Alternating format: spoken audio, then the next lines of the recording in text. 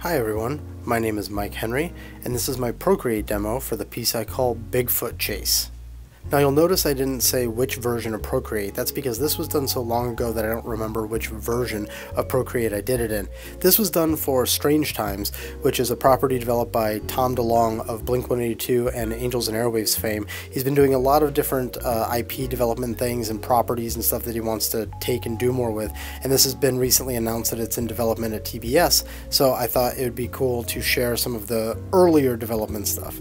Um, I've actually done, uh, I did like the original design for these characters a long time ago, and when Tom contacted me about doing these a long time ago, um, he said that he had three pieces that he wanted done, and he described them, and this is the first of the three. I'll actually do a Procreate demo of all three, um, but I wanted to start with this one because it was actually the first one that I did. So Strange Times, uh, loosely, just to describe it, involves a bunch of kids that are encountering a bunch of um, myths and legends and, and sci-fi things and all that kind of stuff. It's like taking uh, uh, Goonies and mixing it with uh, X-Files or something like that. That'd be a fairly apt uh, description. So um, Bigfoot, of course, is one of those classic fun things to mess around with, and the idea of the kids encountering Bigfoot uh, can be uh, really fun and funny. So uh, that's what you got here. Basically, just they've come in contact with him, and he's not so happy to see them. That was essentially the description that I was given, um, and then I just sort of went at it. What you saw in the beginning here was a very loose rough that I just used and sent it over to Tom and said, "Hey, something like this," and he said, "Yep." So I proceeded with it. I already had the designs of the kids.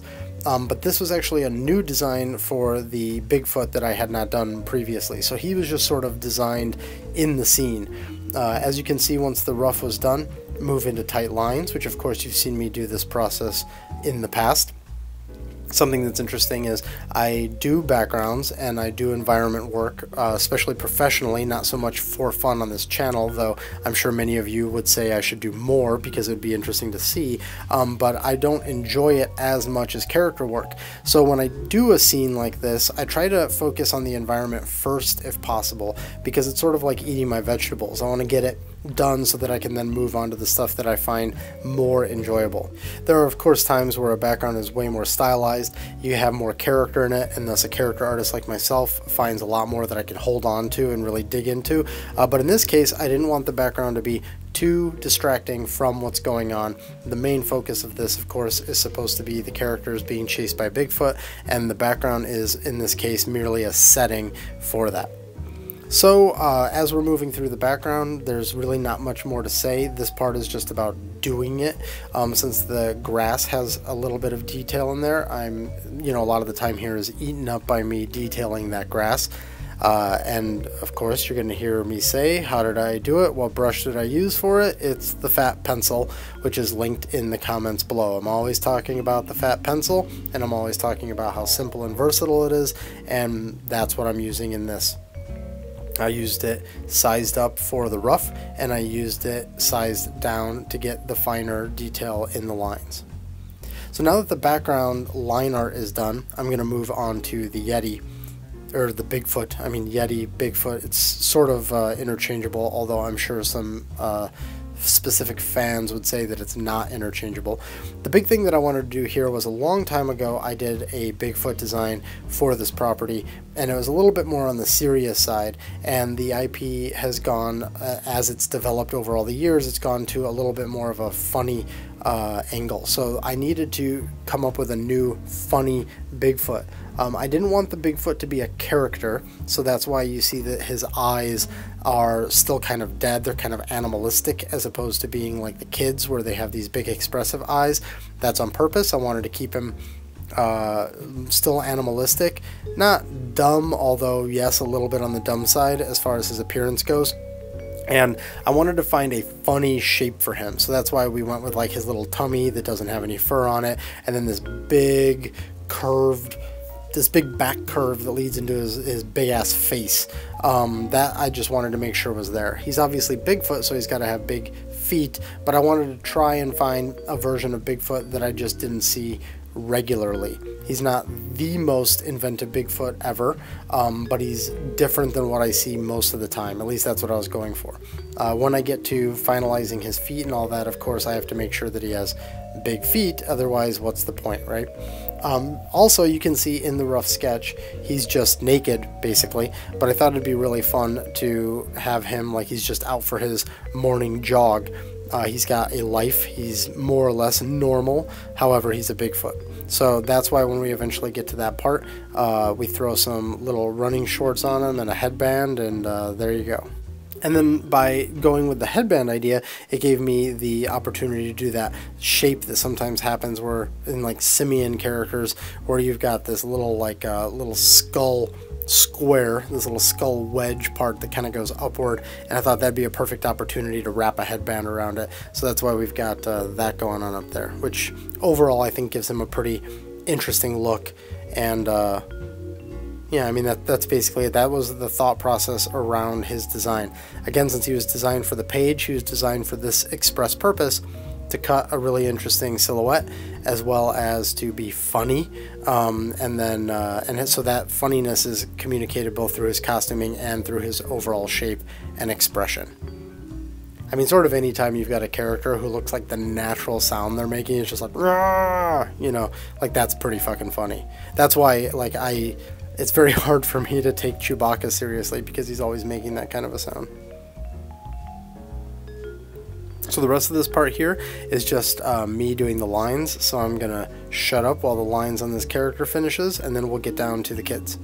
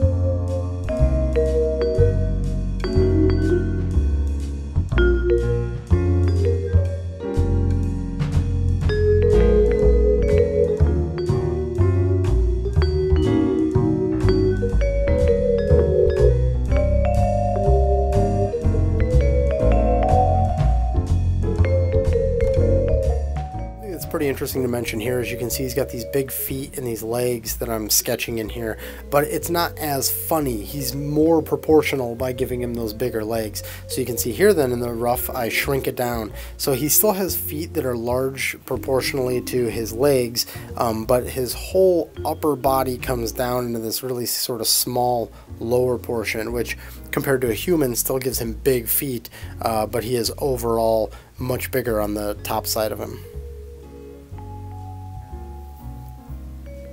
After we get the legs done here, I actually don't move directly to the kids. I start working on some of the background, get those trees that are that are implied through the rough sketch in there, uh, so that we can start working on being conscious of uh, tangents and just how the whole thing is uh, coming together. Is the is the composition actually working out?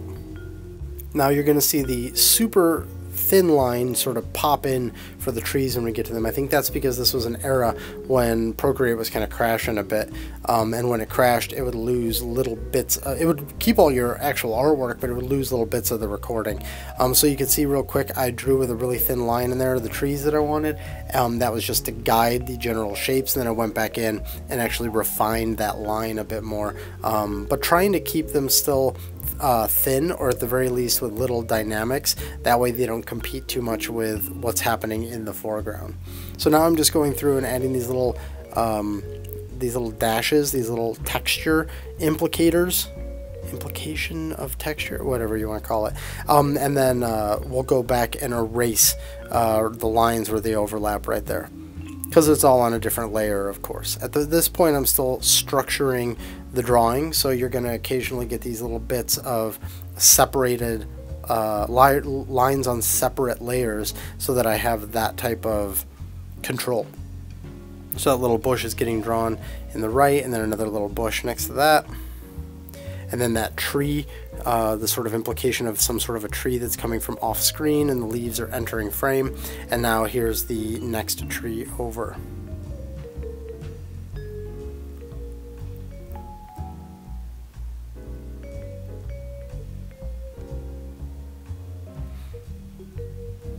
Doing the exact same process now. So we've got that tree that's in the foreground over to the left, or actually that tree is technically in the, the middle ground, sort of closer middle ground. Um, and then uh, replicating that texture that we've got there on the other trees in the background. Trying to make it all, of course, an interesting background that looks like it's complete without uh, competing with the, the foreground. Here you can see I've brought in a little lineup of characters. There's actually a lineup that predates these where the characters have more natural proportions. They are still stylized like this, but they have more normal proportions. And at one point it was decided that we should go in a more stylized manner. So they got sort of bigger heads and little squatter bodies. And that was the version of them that I was working on that needed to then be carried over into this particular illustration. So this is a situation where I haven't drawn these characters a lot. I drew the original ones in sort of like one go, and then I drew the altered versions that are right here, and they were more or less drawn in one go. And now I'm going and trying to draw them sort of in poses and doing uh, doing performing actions. So it's not like it's impossible. It's just not something where I've practiced these characters a lot and sort of have them automatically. It's more I'm looking at my own drawings like archaeology, like historical data. Okay, the person who drew this, which was me, drew it this way. So when they're turned, I guess it's something like this. Um, there's not a whole lot of rules that are sort of set up yet, and uh, so it's a, bit of. Uh, it's not that it's guesswork, but it's it's more. Well, this has only been drawn once before, and I've I've never I've only ever drawn them in this one pose. So let's ex explore how they could be posed while doing the final art. Now, if I wanted to be very very thorough with this, I suppose I could have sat with some uh, like another file and just done a bunch of exploratory sketches, uh, but I, I, felt confident enough, let's put it that way, that I could just keep going with it. Part of that's because I did, I was the one who drew them before, so it's a lot of uh, my own natural inclination on how it should be done. I always like drawing this character the most. I'm not saying character names because I don't know what's changing right now and, and what's you know able to be talked about. But um, I've always liked drawing that character because he's just got this he's sort of shaped almost like a bullet or like those was it the pantyhose legs that like in the 80s used to come in like that little like egg shaped thing he's basically just round on top and then he's a cylinder and then you attach these other parts to him to sort of break that silhouette and give him something interesting. So he's fun to draw. Um, as for the rest of the characters, uh, right now this is me just, I'm, I'm trying to strike a balance between them being drawn with a level of care where they are well drawn, but at the same time, when we moved into this style, there's also a lot of sort of flat um, graphic aspects to the way that they were drawn, so I want to have some fun with them in that way as well. So that's where you've got like the arms that are just straight out, uh, or in his case, straight up, uh, to try and strike that strong, sort of funny pose, but um, but also by using like a lot of straight lines that aren't interrupted by smaller shapes uh, to try and keep it cartoony and a little on the flat side. This character always gives me a bit of a pain because he's the other ones are all really simple and then this guy's got like a goggles and backpack and like he's sort of like a gadgety guy um, so he's always bringing just a little bit more complication so while i'm trying to fly through the piece and just get it done um, this is always the character where it's like ah crap okay right he's got a backpack he's got night vision goggles he's got glasses you know it's just nothing that's hard it's just he represents a little bit more work than the other characters Luckily here he's facing the other way, so I didn't have to draw the goggles really. At all. Okay, so now we're to move uh, to the next character. And you can see here every time I turn the layers back on and erase away the characters that are underneath. And then I'll come back in when we get to the next stage.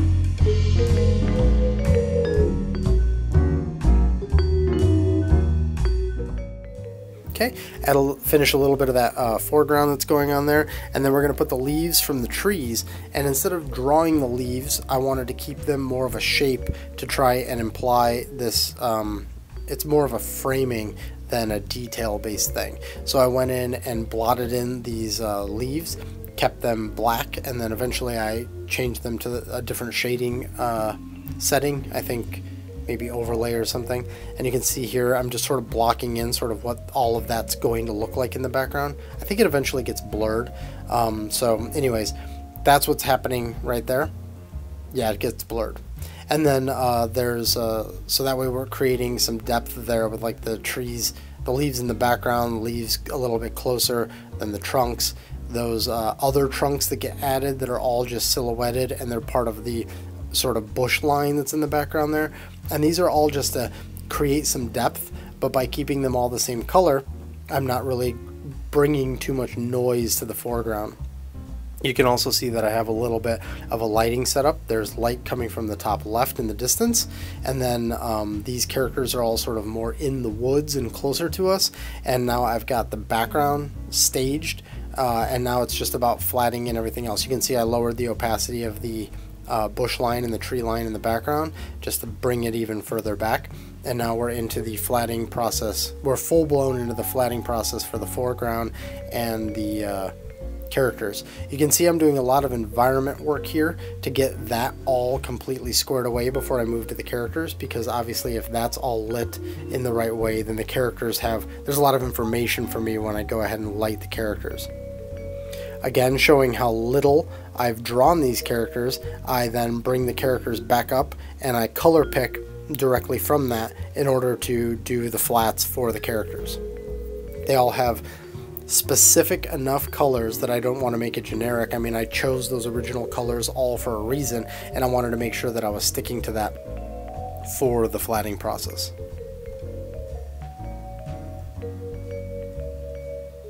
There's little things that like you know i don't know how they're going to end up in the final thing but when i was doing this illustration there are things that i wanted to absolutely keep right. I wanted to keep their individual skin tones right. I wanted to keep the colors of their ears and noses that's receiving that sort of blush correct. I wanted to keep how that one dude with the blonde hair has like that gradient there. I wanted to make sure that was true still true. Um, there's a gradient on the dude with the dark the darker hair with the purple shirt um, so there's little things like that where that were just little hallmarks of the character characters, and I wanted to make sure that stayed. Uh, one other thing to note is I'm sure you noticed that the lines switched from black to like a light tan set to multiply to absorb the colors underneath. Um, so that's just something I do fairly often, and that certainly happened here as well. Uh, the nice thing about the shadows here is that these characters are mostly in shadow, which gives a really nice strong look as well as uh, is easier because you're blocking in just this big blob of shadow and then you're like okay with a little bit of light on the end which is nice. Um, all of the shadow for all of the kids was done on the same layer and it was done with the select paint select clear method across the characters which is why you see them getting colored in a certain order. They're getting colored from whomever's furthest back to whomever's closest as far as overlapping goes you can also see that there's some bounce happening from the green grass onto their eyeballs. That's just because I thought it'd be nice to communicate a little bit of material, a little bit of reflectivity there. And then that's also why we've got that gradient coming up their bodies with a little bit of knockback on those characters in the distance, just to try and get them a little bit more in the environment. Um, and that way they just don't feel like stickers with this like one single shadow layer on them. They feel like they're actually a part of that world. So now we're working on flatting the Yeti. I keep saying Yeti, the Bigfoot. Um, and you can see I go with sort of my gut at first and then decide to change the colors around a bit. Especially as it goes, I'm, I'm looking for readability, of course. So if I make one value too dark or something maybe a little too saturated or whatever, I can always tweak that since everything's on a separate layer. I really wanted to get the depth of that mouth as well, which is why you see that gradient happening. And then a few more tr uh, tricks get brought in in order to really sell that in a minute. So now he's getting his shading using Select Paint, Select Clear, which is linked down below if you want to see the methodology that I'm referring to right there. It's a methodology that was essentially structured to color to do a shading layer in Procreate without having to do too much, too many layer shenanigans since you have a layer limit in Procreate. So now we're going in and putting um, just basically the more detail-oriented shadows here. We do some of the gradient up like we did on the kid so that he's uh, getting some of that bounce. We've got the spit and we've got the dust being kicked up by him.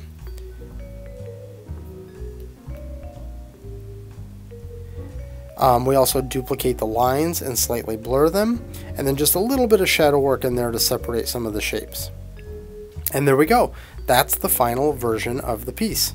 The idea was to try and do something that evoked a cartoon look, but still had a little bit more finish to it and a few more things that maybe you wouldn't do in animation because it might be a little too much. Um, that way it just felt like a cartoon, but it felt like a particularly polished piece of art. Here are a couple more close-up shots so you can see the kids in their final version and see the Bigfoot in his final version.